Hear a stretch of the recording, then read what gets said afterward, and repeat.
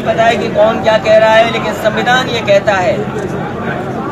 संविधान ये बड़े हैं जो लोग आर्थिक रूप से, सामाजिक रूप से पिछड़े हुए हैं, उन्हें विशेष अवसर मिलना चाहिए। और 120 की आबादी में अब तो सरकार के पास भी है अपना हिसाब किताब, कौन कितनी जाति का है। जब तमिलनाडु में 50 परसेंट से ज़्यादा आरक्षण हो सकता है। या दूसरे प्रदेशों में ज़्यादा हो सकता है। तो हम तो सरकार से कहते हैं, हम किसी को नाराज़ नहीं करना चाहते। ना किसी जाति को नाराज़ नहीं करना चाहते। हम तो कहते हैं कि जिसकी जितनी जाति की आबादी के हिसाब से अगर आप देना चाहते हो तो दे दो। क्यों किसी का आरक्षण छीन से हो? जो जितना आबादी का है, उस हिसाब से उसको आरक्षण दे दीजिए। विशेष अवसर दे दीजिए उसको। अखिलेश जी आप जो नौ अगस्त का कार्यक्रम शुरू कर रहे हैं तो फैजाबाद से शुरू कर रहे हैं कोई खास वजह? अगस्त इसमें अगस्त क्रांति ये क्या जिस तरह से क्रांति हुई थी अगस्त में उस ये फैजाबाद के लोग और जिनके मैं कार्यक्रम में जा रहा हूँ वो परिवार सेनानियों से जुड़ा हुआ परिवार है। जिनके कार्यक्रम में जा रहा हूँ वो स्वतंत्रता सेनानी भी हैं। और हर वर्ष इसी तारीख को वो कार्यक्रम कर रहे हैं। मुझसे कई वर्षों से कार्यक्रम चाहते थे मुझसे, लेकिन अभी सरकार नहीं है। हम भी थोड़ा खाली हैं। जब खाली नहीं थे, समय नहीं दे पाए। इसलिए 9 तारीख को आपके फैजाबाद और अंबेडकर नगर का कार्यक्रम है और 30 अगस्त को कारगिल शहीद के नाम पर आजमगढ़ में कार्यक्रम होता है। तो वहाँ भी हम जा रहे हैं 30 अगस्त को। सर छोटे छोटे गाँवों से छोटे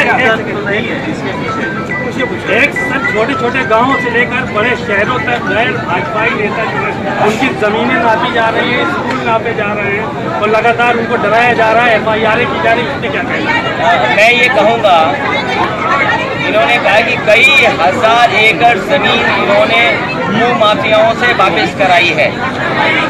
तो हम तो कहते हैं कि जब आप पे हज़ारों एकड़ ज़मीन आ गई है कम से कम उन भू माफियाओं का और जिन भू माफियाओं ने ज़मीन कब्जा कर रखी थी उनके नाम भी जनता के सामने भेज दिए जाए तो शायद ज़्यादा अच्छी बात होगी अखिलेश जी एक भारतीय जनता पार्टी के विधायक हैं उन्होंने 40 एकड़ ज़मीन कब्जा की उसको लेकर प्रेस कॉन्फ्रेंस अच्छा अभी तो। सौ दिन ही हुए हैं और तुमने बता दिया कि चालीस एकड़ ज़मीन की अभी अब पाँच साल में सोचो क्या क्या होगा पीजीआई के पास का मामला है, इसमें आज एक प्रेस कॉन्फ्रेंस भी करने जा रही है पीड़िता। तो इसको लेकर क्या कहेंगे क्योंकि भारतीय जनता पार्टी लगातार कह रही है कि वो इस तरह के कब्जा छुआएगी भूमाफियाओं को अंदर करेगी। आरोप तो ये, आरोप तो ये लगता था कि समाजवादी लोग गुंडा है।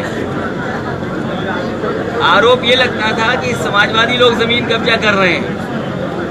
लेकिन हम जानना चाहते हैं कि जो पाँच हज़ार एकड़ से ज़्यादा आपने घोषणा पत्र में और अपने बजट स्पीच में कहा था कि जिन लोगों ने ज़मीन कब्जा कर रखी थी कम से कम उनके नाम बाहर आ जाए तो बड़ा अच्छा लगेगा।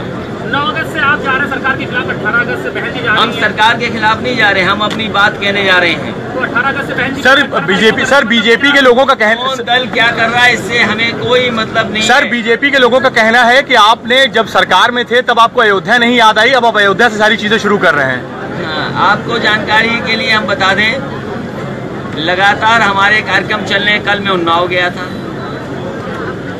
आज आपके बीच में बैठा हूँ। सात तारीख को रक्षाबंधन है, पंद्रह तारीख को पंद्रह अगस्त है। और बीच में एक चिड़िया का भी कार्यक्रम है, अगर आप परमिशन दे दोगे, हम चिड़िया वाले कार्यक्रम में भी चले जाएँगे। क्योंकि हम हर वर्ष एक बर्ड फेस्टिवल करते थे।